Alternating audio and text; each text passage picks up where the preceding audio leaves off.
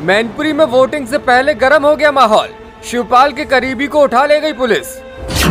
शिवपाल सिंह यादव धरने पर बैठने की तैयारी में, नेताओं में हंगामा। शिवपाल सिंह यादव के पीछे भी पड़ी पुलिस, लगा दिया बड़ा आरोप। देखिए क्यों प्रशासन और पुलिस सफाइयों को घेरने में जुटी, सच्चाई क्या है?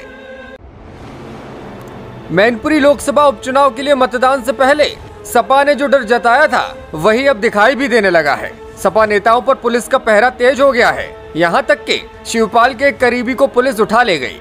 ताखा ब्लॉक प्रमुख के पति और शिवपाल सिंह यादव के करीबी ध्रुव यादव उर्फ़ चीनी को पुलिस ने उनके आवास से गिरफ़्तार कर लिया, जिसके बाद समर्थकों ने हंगामा काट दिया।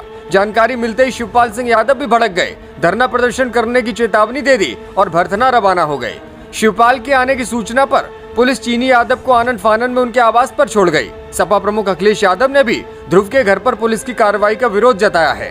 ताखा ब्लॉक प्रमुख के पति और विधायक प्रतिनिधि ध्रुव यादव उर्फ़ चीनी ने बताया, मैं कमरे में चेंज करने आया था, तभी घर के बाहर पुलिस पहुँच गई। गेट पर तैनात युवक ने पुलिस को आने का कारण पूछा तो उन्होंने अभद्रता कर दी। उसने गेट नहीं खोला तो बाउंड्री कूदकर पुलिस वाले घर में घुस आए। इसके बाद एसीपी ने मेरे हाथ पकड़े, बोले, बहुत सक्रिय हो, मुझे पकड़कर भरतना थाने ले गए। ध्रुव के मुताबिक, पुलिस मेरे घर पर ऐसे घुसी, जैसे मैं कोई क्रिमिनल हूँ। एक सौ सात सोलह में मैंने जमानत ले रखी है। नियमित तारीख पर थाने जाता हूँ। उसके बावजूद पुलिस को ऐसा कृत्य, कानून का उल्लंघन है।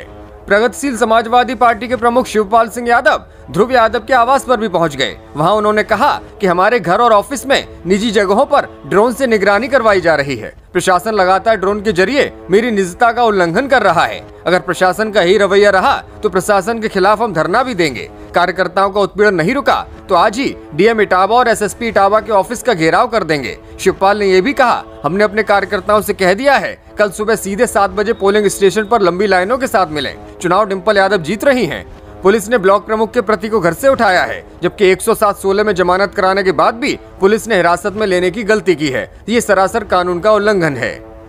दो दिन पूर्व ही भारत निर्वाचन आयोग ने इटावा मैनप्री एसपी के द्वारा चुनाव से पूर्व चार थानेदारों को लंबी छुट्टी स्वीकृत की थी, जिसके बाद सपा के प्रमुख महासचिव प्रोफेसर रामगोपाल यादव ने पुलिस प्रशासन की कार्यवाही पर सवाल उठाए थे और आयोग से शिकायत भी की थी। अवकाश पर भेजे गए थानेदारों में से भरतना के भी एक थानेदार थे, जो इस समय मेडिकल अवकाश पर हैं। ब्यूरो रिपोर्ट मीडिया हलचल।